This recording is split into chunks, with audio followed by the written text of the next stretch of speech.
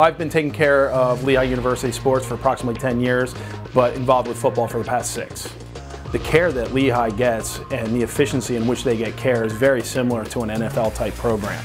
I mean, these athletes get seen game day Saturday. They will typically have MRIs Sunday or Monday.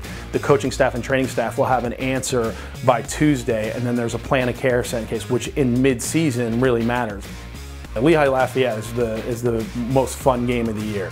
Dr. Slanker, who's Lafayette's doctor, we have a we always have a bet every year. I'm hoping Lehigh smokes him this year. But just the energy in the stadium, you don't get throughout the whole year. But the energy that there's for that game really makes it a special event.